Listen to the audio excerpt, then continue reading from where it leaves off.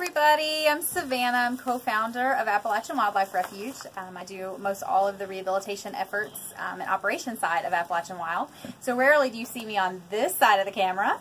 Um, we have this amazing package from a Girl Scout troop, um, 713 out of Hatboro, Pennsylvania. Um, and we haven't opened this yet. We're really excited to see what's in here.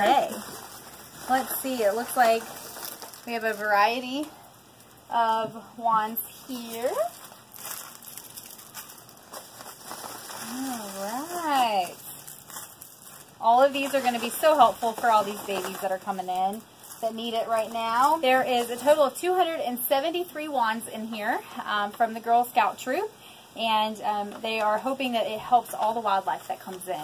So Girl Scout Troop 713 out of Pennsylvania, we will definitely put all of these wands to good use and they will be very helpful in caring for the babies that are coming in who need these to help clean up um, all of the bugs and other things that are on their fur and feathers. Um, we put them to very good use. So thank you for that. It will be so helpful.